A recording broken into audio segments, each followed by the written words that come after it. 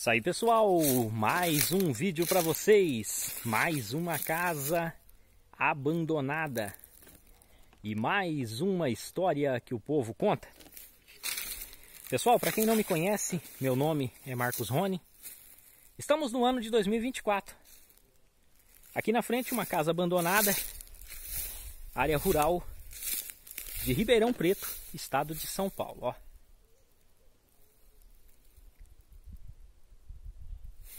Pessoal, essa casa tem uma história que aconteceu no ano de 2002.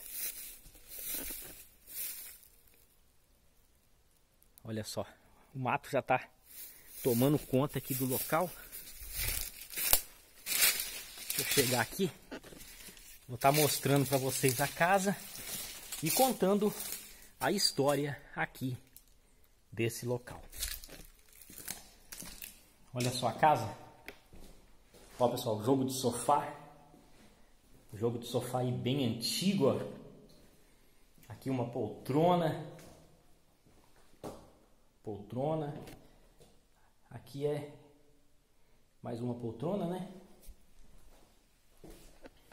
Ó. A cozinha. Casa em laje. Aqui a pia, pessoal, ó. Aqui a pia.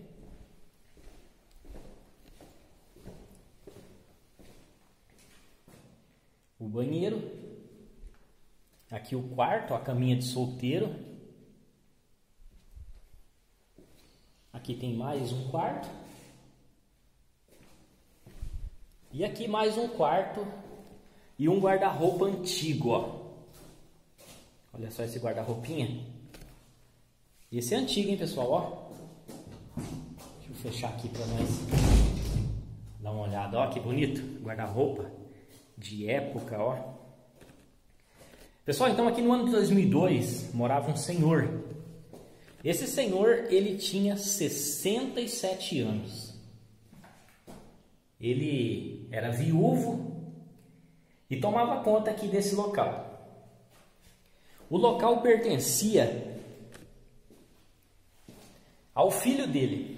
Né? O filho dele é, usava esse local aqui como é, o, o, pai morava aqui e o filho usava como área de lazer, ó. Tá vendo? Ó, tem duas traves aqui, ó. Que era varal, mas as crianças gostavam de usar é como campinho de futebol, né? E esse senhor ele tinha um neto.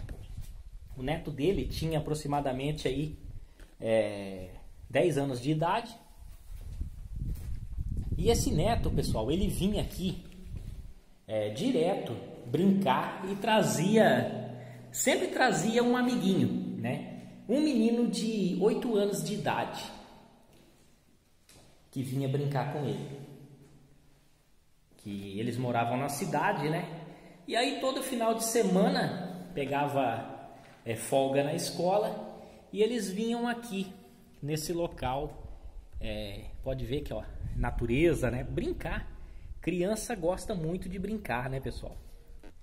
E deixa eu estar tá mostrando aqui para vocês essa parte aqui, que é a parte que é, pessoal fazia churrasco também, né? Ó, as crianças brincavam aqui, ó. Pode ver que daria, dava para fazer um campinho de futebol, ó. E o que aconteceu? Pessoal, esse menininho de 8 anos, ele acabou reclamando com o pai dele ele acabou chegando e falando pro pai dele que o tio, né, chamava o tio, o vô do outro de tio, que o tio tinha é, mexido, passado a mão é, nas partes íntimas do menino, né?